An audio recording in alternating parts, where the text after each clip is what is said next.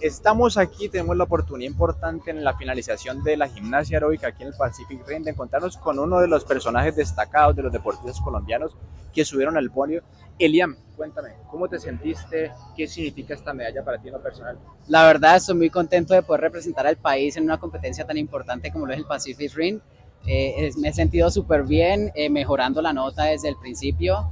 Eh, hemos estado trabajando desde el año pasado para poder lograr eh, nuestros resultados en estos momentos. Bueno, hablamos ahorita de México, eh, tuvimos otros, Perú también, competidores muy importantes. ¿Cómo viste esos rivales y que igualmente te hacen mejor pues para cada día estar en un nivel más importante en el mundial?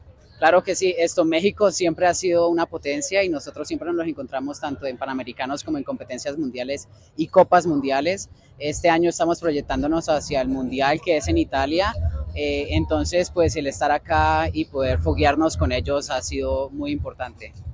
El deporte muchas veces es desagradecido, en ocasiones se pierde más de lo que se gana y estos pequeños momentos pues dan esa ilusión y esa emoción a seguir adelante. ¿Tú qué mensaje le envías a todas las personas que de pronto están comenzando la gimnasia aeróbica y que ya te ven desde ya como un referente? Claro que sí, el deporte es, es esto es lo más gratificante. Nosotros entrenamos día y noche porque son arduas jornadas de entrenamientos para poder llegar a, a, a estar en este momento parados acá eh, la alegría de, de, la fiesta, ¿sí? Esto, la competencia eh, es bastante tensionante, pero al final esto es, es, gratificante. Entonces, todas las personas que eh, estén proyectándose a ser un deportista eh, tienen que esforzarse y, y, y, sacar la cara, como siempre.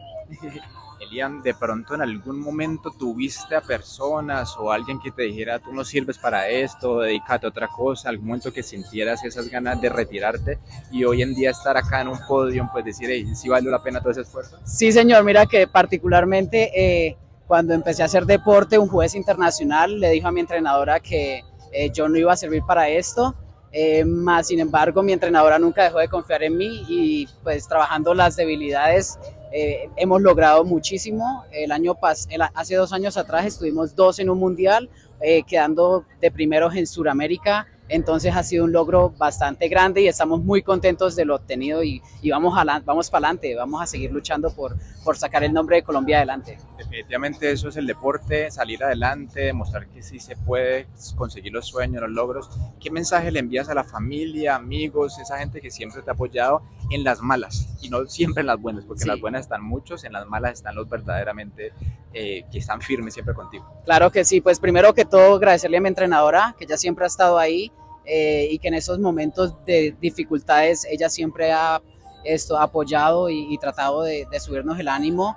Eh, de segundo a mi mamá, que también pues eh, siempre hizo lo posible para que yo pudiera llegar a los entrenamientos, eh, poder tener un plato de comida en la mesa, porque ha sido muy, muy, muy luchado el, el, eh, mi carrera deportiva.